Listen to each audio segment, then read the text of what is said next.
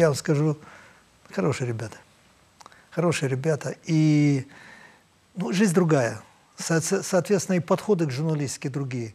Вот. Другой даже язык, я бы сказал. Вроде русский, а другой. Конечно, он другой, да. Если э, писать вот тем языком, то не поймут. Это все равно, что э, я одену другой костюм того времени, пу- пу- пусть даже новый, да, но он будет э, не подходить к этой эпохе.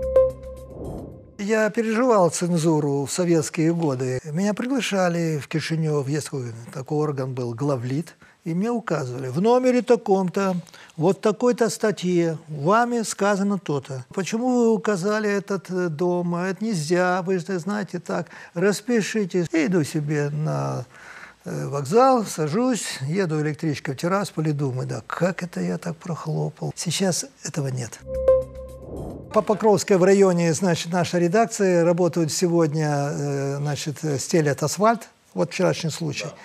Вот, и вдруг э, женщина идет и говорит, о, этого человека я видел в газете, вот он здесь. И что вы думаете, к нам приходят ребята, вот, ребята приходят в редакцию в Шарядах, где купить газету? Там говорят, э, мы на фотографии.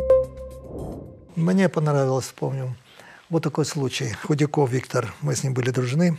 Он попросил рассказать о кирпичном заводе в Тирасполе, о качестве кирпича. Очередь закончился тем, что раньше разобьется э, быстрее или кирпич, или хрустальная ваза. Так он сказал, что кирпич. Значит, качество было неважное.